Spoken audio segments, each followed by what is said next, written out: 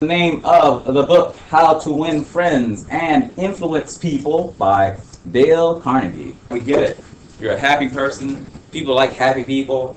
People don't like grumpy people. I know a grumpy person or two. And after a while, they're like, dang, why are you always so grumpy?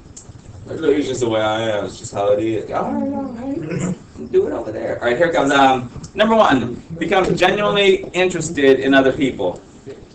The idea with the interesting, uh, interested thing is, if you are interested in other people, you want to get to know, like, hey, why does that girl wear that that tiger backpack? Or, hey, that dude, he seems kind of happy. Or, um, the people out there playing pong, like, why are you guys even doing that? Or, like, how do you know all that stuff about the movies? You know, you're generally interested in other people. That's step one to have people like you. Just the fact that you want to know either about or other people.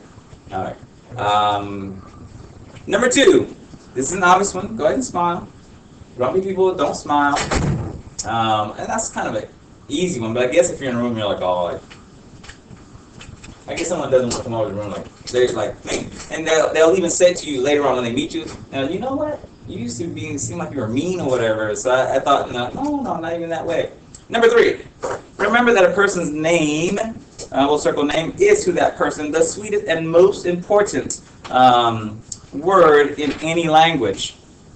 This goes to the idea of uh, Madeline versus a Madeline, having a Madeline versus Madeline. Someone said Mr. Hines. Um, of course, whenever someone says Mr. Hines, I will say close, exactly Hines, like behind. You know, I don't make a big fuss out of it. But the point is, I know I like my name the way it is.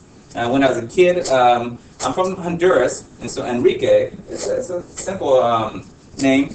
But uh, my neighbor, she's from America, she couldn't say Enrique. She would say Enrique.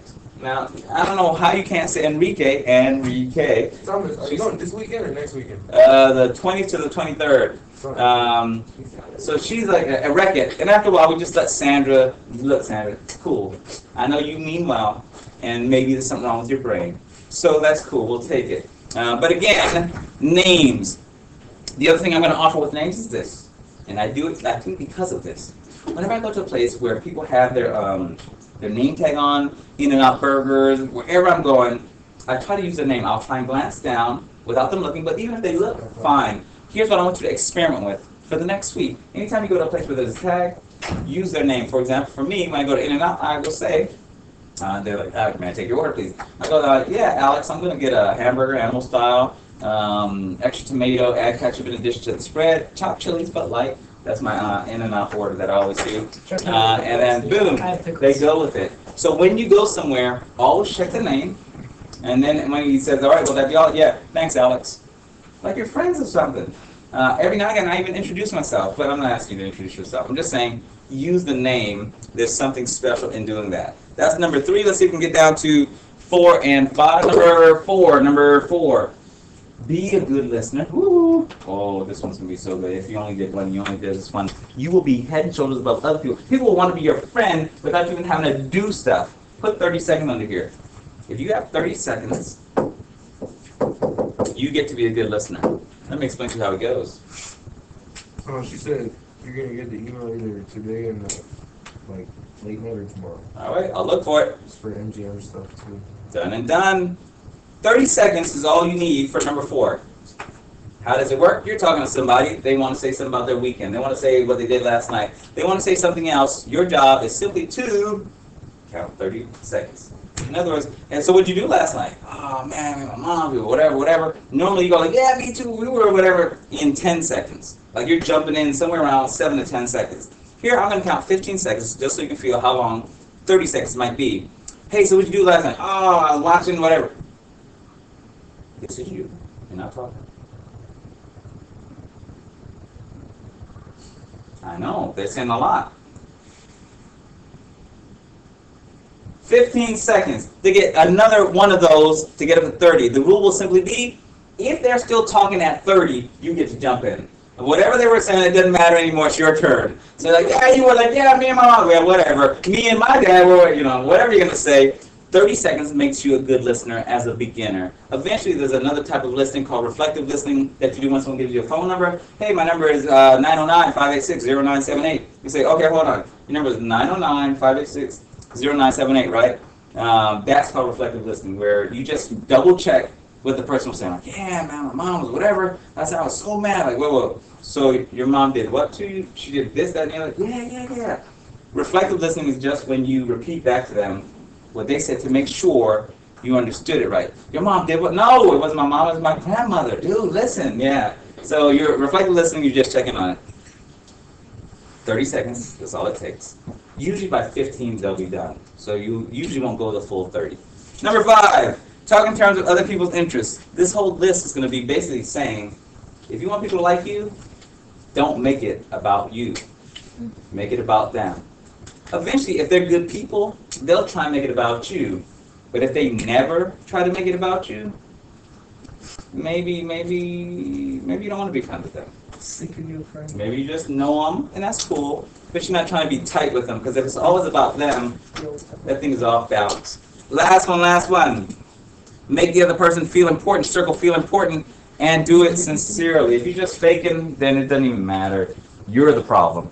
But if you do it sincerely, uh, last night me and my mom were doing well. Like, oh dang, that sounded like that was fun. That alone is making it um, seem important. Yeah, so I went and I did a magic show for the kids who um, either had cancer, their parents had cancer, or a sibling had cancer. The only way you got to come to this party, is somebody had to have cancer um, re- related to that kid. So we were there because, of course, my wife had cancer, but she's okay now. But her kids, of course, got to be there because of that. Well, we did like a, a bunch of magic tricks for them. How do you make me feel important? Like, dang, that's a good thing that you did. That's it. So when you're making someone feel important, it doesn't have to be like over the top. You're just affirming them, confirming them, and that kind of thing. So that's number six. Uh, we're going to the uh, number eight. Number eight. Uh, honestly, see, see things from um, the other person's point of view. It works like this. Uh, an example: my wife. You know, you have to take out the trash every week. You take it from your house, put it into the little big things. You push them out. Um, they pick them up. Well, here's what I think. This week, I may not take out the big thing because the trash out there is only half full. I'm always like, oh, you gotta take it out. You gotta take it out. I'm like, why? I mean, you can just leave it there. It, when it fills up next week, I'll take it out next week. I know it must go out. Like, what is that? She's like, it's gonna stink. No, no, it's trash. Trash stinks. That's what it does. It's a trash can. So in the end, if my amygdala wasn't going, and I wasn't just trying to win the argument, I would have said to her, number eight. All right, hold on, hold on. Try to help me see from your eyes or from your vantage point, from your point of view, why taking out the trash each week is so important. I say that, and I start counting to 30. I don't say anymore. She's saying her thing. Yeah, when I was a little girl, my grandmother put me in the trash can, and my dad wouldn't have discovered me if he wasn't taking out the trash that week. And so from then on, I have to take out the trash every single day. Now, the answer may be crazy, whatever they say. I'm only on 20 now. She's done. But at least you know, oh, that's why you're crazy. You know, you at least you know it. You don't have to say that. But my point is, what if you said something that was actually like a good reason where you're like, oh, well, I know you should have just said that. She's like, I was telling you, just not listening. Whatever. The point is, this one here alone, if you learn nothing else in math class, this one here would make your life so much better. It will be hard to do because when you're arguing, your amygdala is in charge. It's emotional.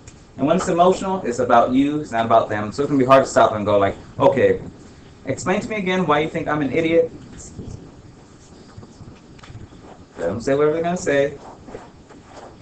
And then if you really want to mess with them, at the end of 30 seconds, just do this. Watch this. They say their whole thing, they wait for you to come back at them, you go, all right, thanks. Then either you walk away, or you just like, okay. Um, they're like, what do you think about it? Nah, I got to think about it. Um,